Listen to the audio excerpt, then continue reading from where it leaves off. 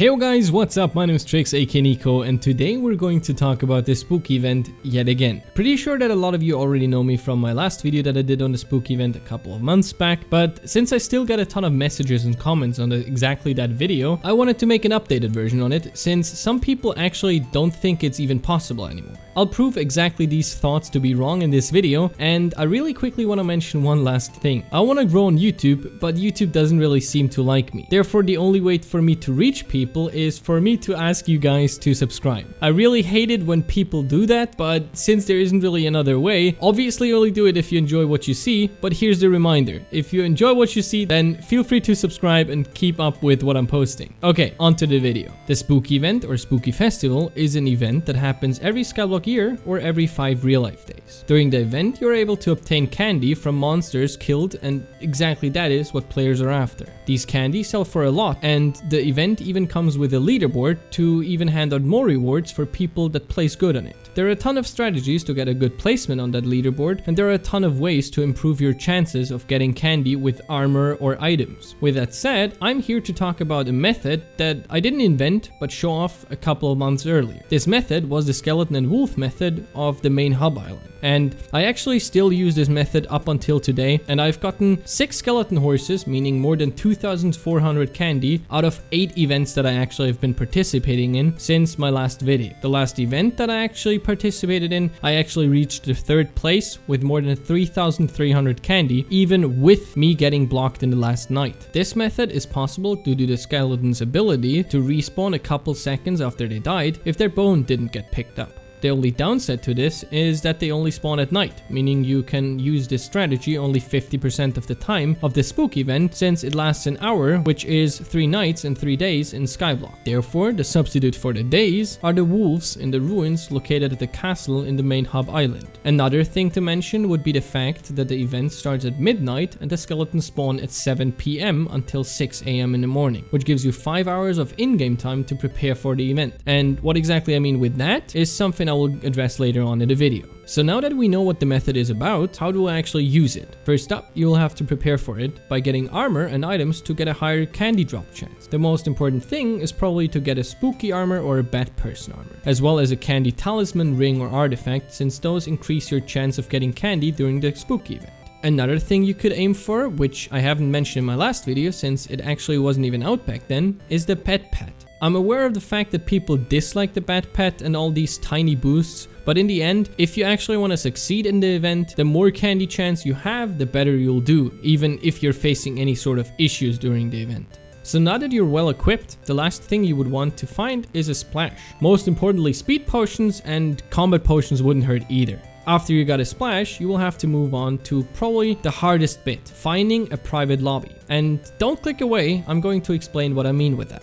Last time I showed off a completely empty lobby and said that it's basically a requirement to get a chance to using this method. However, since they changed the amount of private lobbies, this isn't really possible anymore. No idea if they're ever increasing the amount of lobbies again or if it'll stay like it is right now, but the idea now is not to find an empty lobby, but a small one. Even if you have a couple people in the lobby, you will still be able to get a ton of candy because not everyone that actually is in a hub lobby uses this method anymore. Multiple people do or only wolves during that time, which means those people aren't actually in your way except that they're in the same lobby making you think you would want to switch. So to explain it the easiest way possible, find a lobby and either ask or check for yourself if someone is standing on the field in front of the big gate or if they are using the skeleton method. If that is the case, then just simply move on. Another big thing to know is if there is someone or you see someone come to your field, staying is probably the worst thing you could do. It is far better to search for an empty lobby and waste time searching than to share or use a field with multiple people. Now that we have found an empty lobby, we can start preparing the area.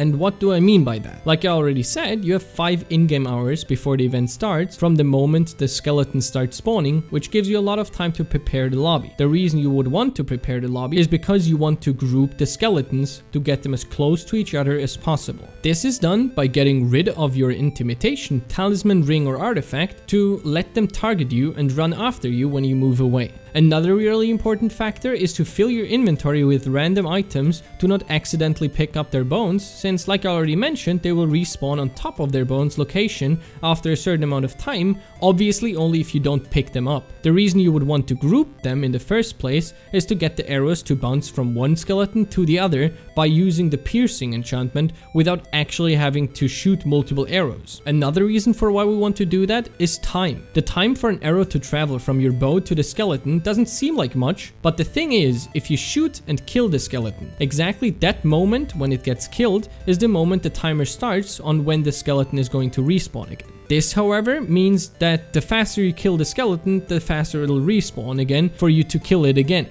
If you now have to aim for skeletons and always have to draw back your bow, this will take up way too much time in the long run for you to even be able to get the skeleton horse pet, the reward for people getting more than 2400 candy. The grouping is a quite simple yet complicated process. Another reason why you want to group the skeletons is because there are certain spots in which skeletons are able to spawn. These spots are filled if a skeleton that already spawned on top of it is still in the area. If you now move them away from this spot, it will open up for another skeleton to be able to spawn there. Obviously there is a limit as to how many skeletons can spawn in the entire area, but you will have a higher amount of skeletons if you group them and move them away from their spawn spots. So now that we talked about why grouping the skeletons is so important, let me just really quickly show you you how I did it. To move them, like I already said, you'll have to get close to them and when they target you, you would want to run away for them to follow you. This is very easy and if you have speed potions, since you can run around quicker, the movement kind of makes a circle where you basically run in a circle until they're all grouped up in one spot. Another important thing for you to know is if a skeleton doesn't seem to be targeting you or it stops being interested in you, the best thing for you to do is just kill it and let it respawn. Skeletons tend to lose interest very easily easily, but if you kill it and they respawn, right after they respawn, they always take a tiny step into your direction.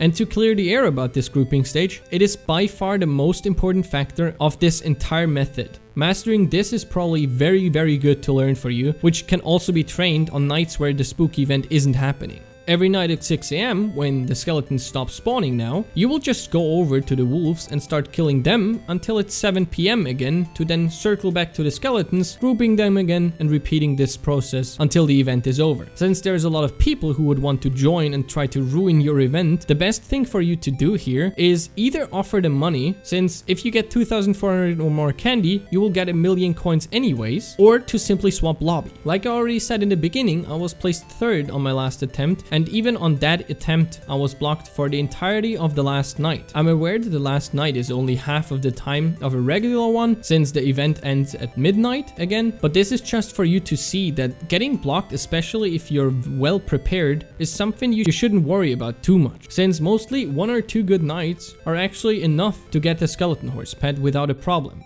With that said, it obviously relies on your preparation, but if you're only aiming for a skeleton horse pet, this method is absolutely perfect for you, since it's easy to use, like I already said, and it still works. I hope you guys enjoyed the video. If you still have questions or want to check out the other video, then feel free to do so, the link is down below. For questions, you can follow me on Twitter or join my Discord. And if you did like the video, then show it by hitting the like button. Subscribe if you haven't already, and since this is basically it, thank you very much for watching and have an awesome day.